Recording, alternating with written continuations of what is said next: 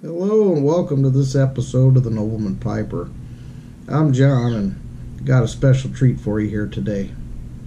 Missouri Meerschaum pipes. These are probably about the best value in a pipe for the beginner or even the experienced pipe smoker. And we're going to talk a little bit about them today. And before we get too far along, this is a Dagner Missouri Meerschaum collaboration pipe filled with Cornell and Diehl's Kringer. And today we're tamping the ash with a Custom Cadence Creations tie-dye tamp tool. So, without further ado, let's talk about what we got out here on the table today. We got this, obviously I've smoking this Dagner Missouri Meerschaum collaboration poker pipe. And I have several pipes here on on the table. Now, one thing that's kind of cool about a corncob pipe is just because you start with a corncob pipe doesn't mean you need to just stay with corncob pipes. Um, some people start with them. Other people, like me, started out with a nicer briar pipe um, and then just kind of went to the corn cobs. And I really found them to be a genuinely good smoking pipe. Um, I was kind of apprehensive about them at first as a lot of people are, the aesthetic value of it, obviously the cost.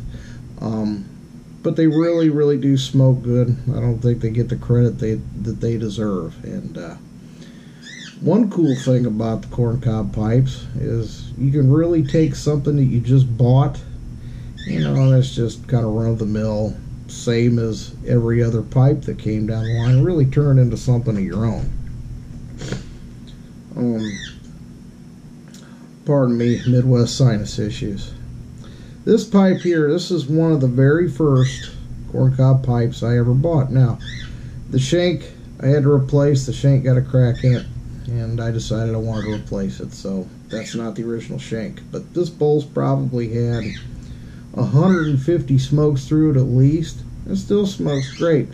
Now, one thing I did was, was I opted for a forever stem to be made for this pipe, and they're kind of pricey. It's about $25, but let me tell you, this is a stem that's going to last for life, hence the term forever stem. So, it's kind of a little bit of a modification, I guess. I, I mean, I didn't make the stem, but it really, really helped with the smoking experience, at least from from my standpoint. I really think it worked out great.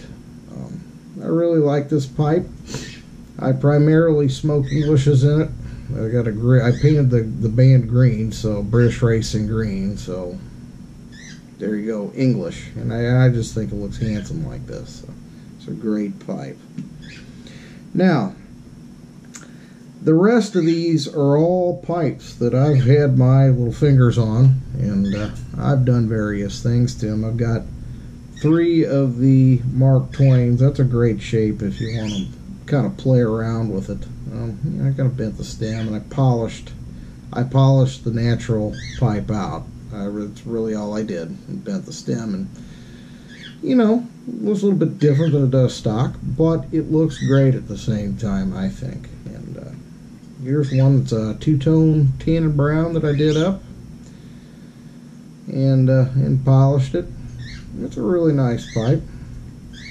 There's one that I did here recently, and I really like it. It's a uh, it's a solid red with the amber stem, and uh, have it polished out. It really came out real nice. Here's a country gentleman I just did as well, two-tone black and red. Came out nice as well. Uh, here's here's a pipe that's kind of popular, except I put my own bit on there. Normally, I I have a black bit on this, but it's got an amber one on it right now. This is the uh, what I call the sexy little red devil pipe, and this has been really popular. People just seem like they can't get enough of it, and they really like it. So I'm really happy when people like what I make. I think it's pretty cool. But Missouri Meerschaum corncob pipes are really a great value. If you haven't tried one out, you probably should. Um, those of you who have tried them out most of you probably have more than one. It started with one and ended up a lot more. So obviously you've been happy with with your purchase and think they're great pipes as I do. So like I said, this is kind of a kickoff video for the channel. Uh, brand new.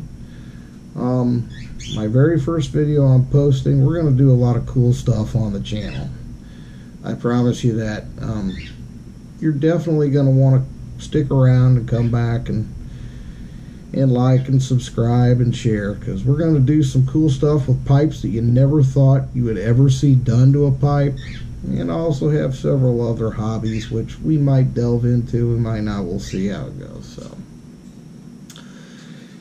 with that i'll say missouri meerschaum pipes are really something you should look into if you haven't already and if you have already, you know why I said that. So we'll catch you next time. Thanks for tuning in to the Nobleman Piper.